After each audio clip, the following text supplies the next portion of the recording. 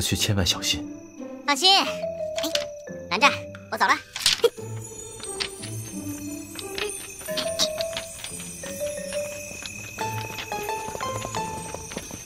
正好，这位兄台，借一百一用，劳驾带我一程。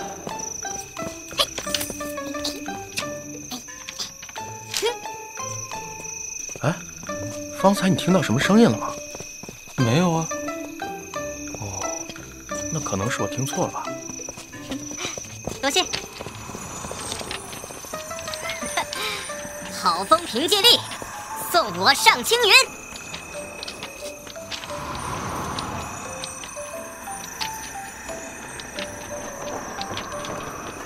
哇，不愧是兰陵金氏，这金陵台是扩建了几倍啊！有钱有钱。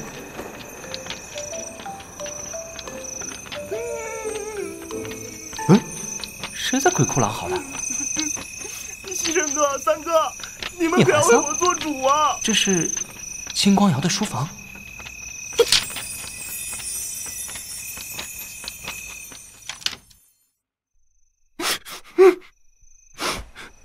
自家的一桩小事，却哭求旁人解决，岂是宗主之道？何来家主之威？你知道，他从前便是这么个性子。他多少年前就是这个性子，如今仍是如此。若是大哥在，若若是我大哥在，谁敢这样欺负我们家呀？我的大哥！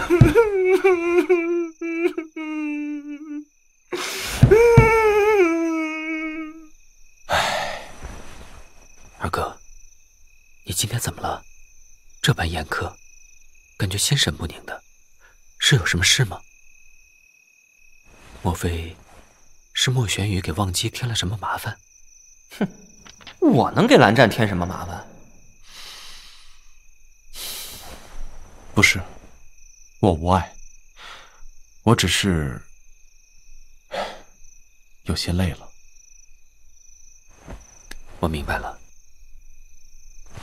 怀桑，你的事我记下了，定然会帮你解决。你二哥今日疲倦，才语气重了些，快别好的了。哦，这样吧，我近日收了几幅名家字画，你看看可有中意的，拿走便是。真的？那谢谢三哥，也谢谢西城哥。哎，我什么都没做，谢我做甚？哇，三哥，这位先生的真迹你居然也能弄到手？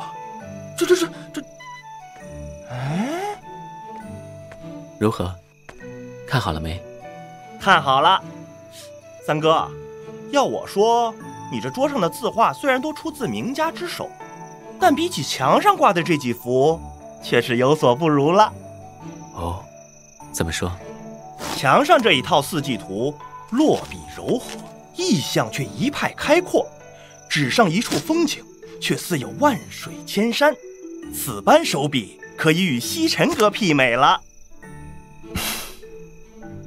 聂怀桑虽然修为不行，赏画倒是很有眼光嘛。你少绕弯子了，你会看不出来这就是你西城哥画的吗？二哥，他方才闹你，现在拍你马屁呢。哦，原来就是西城哥画的。怪不得，嗯，三哥，不如你就把墙上的画送我一幅吧。不行，为何？你有这么多幅呢？西尘哥的墨宝，我一幅都没有呢。你也知这是你二哥所赠之物，我又如何能转送他人？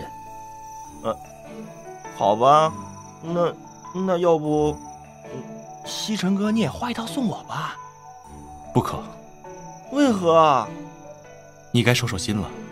不可再终日赏玩书画，荒废家族事务。啊！怀桑如此天然纯质，何必强令改之？是啊是啊，三哥说的对。唉，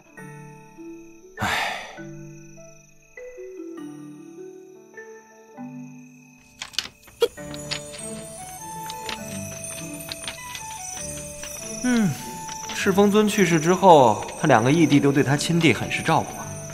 只是金光瑶也未免太照顾了些，聂怀桑都要被他照顾成废人了。哎，这不就是芳菲殿吗？终于到了。